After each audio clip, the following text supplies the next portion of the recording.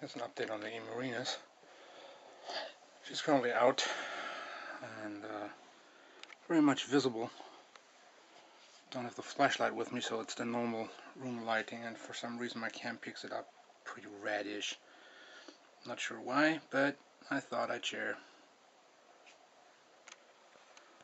So, well, that's her. There she is. This is a She's four, four and a half inches currently. Alright. Just thought I'd show her a little bit. She's a beauty. Especially for you, Robert, so I have the very light carapace variant apparently.